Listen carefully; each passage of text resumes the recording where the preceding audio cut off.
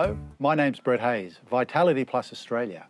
Hey, let me share with you a video from the archives showing you how the water's surface tension changes when a Patrick Flanagan formulation called microhydrin is added to it. Now keep in mind, the microhydrin was reinvented by Patrick Flanagan into what is commonly and worldwide known as the megahydrate. The difference between the megahydrate and the microhydrin is the megahydrate has double the amount of microclusters added to it. The crystal energy is also the silica-rich formulation by Patrick Flanagan. The difference between the crystal energy and the megahydrate is the megahydrate has the hydrogen ions bound to the silica which gives it the antioxidant properties. Both products will soften the water's surface tension. The crystal energy just works on the softening, softening of the water's surface tension. The megahydrate does the surface tension and gives you that antioxidant formulation with the negatively charged hydrogen ions, H negative. Uh, it's interesting stuff. Let me know if you have any questions. Be well. What we're going to measure here is the surface tension. Uh, what we're going to be doing is lowering the ring uh, into the water, and then we're going to be pulling the ring up.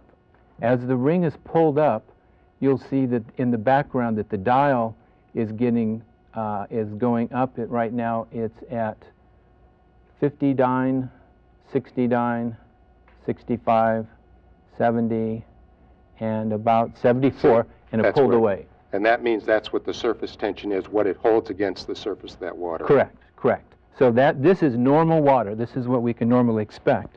So what we're going to do now is take a capsule of microhydrin. Hmm. We're going to open it up into a glass here. So you're actually going to change the structure of the water, is what Yes. I hear you saying, Yes. right? Okay. This I have to see. And then we're going to take some distilled water.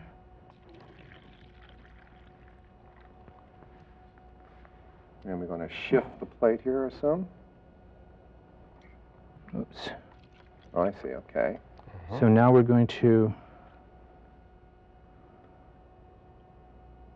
This is the, uh, what Dr. Saunders was saying, the, the alive water, right? This is water that's alive. This is what you want. right. This is Good what you want, that's right.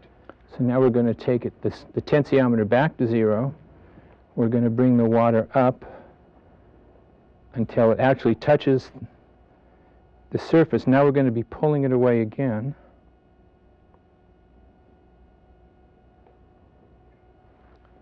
It just pulled away at 35 dyne. 32. Wow. Now, that's remarkable. I picture it as like going from thicky stuff you don't want to smooth, nice, absorbable stuff that you do want. I mean, that's what a That's dyne that- is to me. essentially, Yes. that's what it is. Yes. Okay. That's Yes. right. That's So we've just reduced it from 74 dyne to 35 dyne. That's unusual. Normally it measures And around that was 45 instantly. I mean, you just poured that stuff right in. right now, right now.